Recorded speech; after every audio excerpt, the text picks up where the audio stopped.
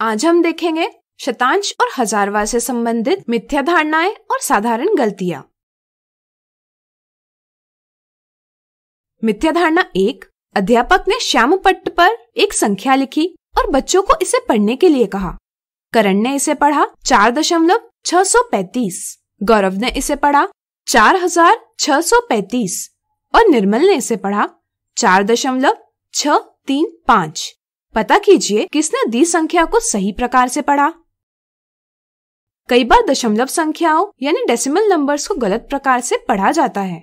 जैसे करण ने दशमलव बिंदु, यानी डेसिमल पॉइंट के बाद के अंकों को इकट्ठा एक संख्या के रूप में पढ़ा।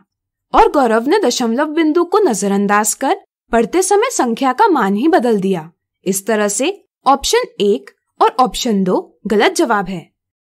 सही समझ यह है कि दशमलव बिंदु के बाई ओर लिखे अंकों को एक पूर्ण संख्या के रूप में पढ़ा जाता है, लेकिन दशमलव बिंदु के दाई ओर के अंकों को एक पूर्ण संख्या के रूप में पढ़ना गलत है।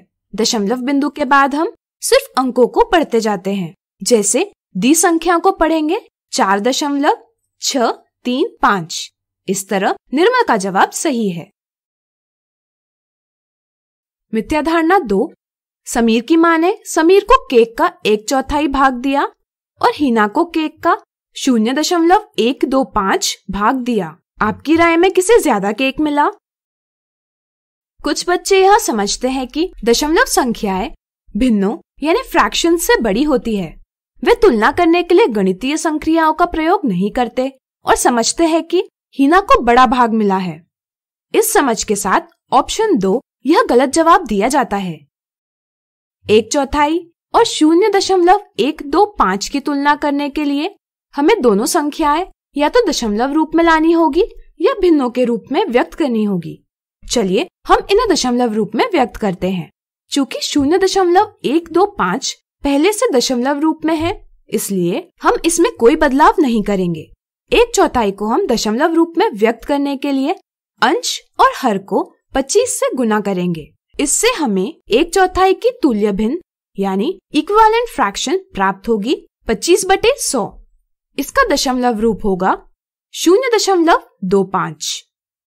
अब हम शून्य दशमलव दो पाँच और शून्य दशमलव एक दो पाँच की तुलना करेंगे। यहाँ पूर्ण भाग बराबर है, इसलिए हम दशांश, यानी टेंथ के अंकों की तुलना करेंगे चूँकि दो दशांश एक दशांश से बड़ा है, इसलिए हम कहते हैं कि शून्य दशमलव दो पाँच, शून्य दशमलव एक दो पाँच से बड़ी संख्या है। इससे अब यह समझा जा सकता है कि समीर को बड़ा भाग प्राप्त हुआ है। इसलिए सही जवाब है ऑप्शन एक।